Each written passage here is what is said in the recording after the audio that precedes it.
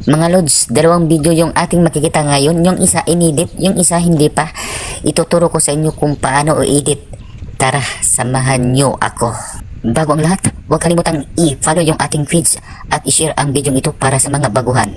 Huwag na nating patagalin. Ito na, mga lodi. Unang video natin, yung walang tao, kailangan naka-stay lang yung ah, ating camera. Second clip, yung dumaan ako. Pagkatapos, tumalon. Yun, tao ba yung tumalon?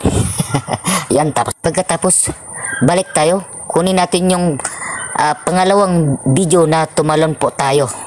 I-press lang natin. Pag pumuti na, ayan, hanapin natin yung ah, overlay. Hanapin natin yung overlay ha.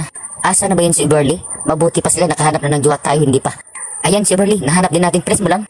Kailangan nakahold yung kamano papunta dito. Ipantay lang natin. Ang next, yung tumalon tayo, nalampas sa may ah, pader po. Ayan, itatiming lang natin yung ah, ating ah, pagtalon. Hanapin natin yung must, i-press natin. Ipiliin natin yung horizontal. Dito sa may ibaba, dapat nakasplit ang video. Doon sa pagtalon natin nalampas sa may pader. Nakikita nyo ba yung mm, guhit na nakayelo?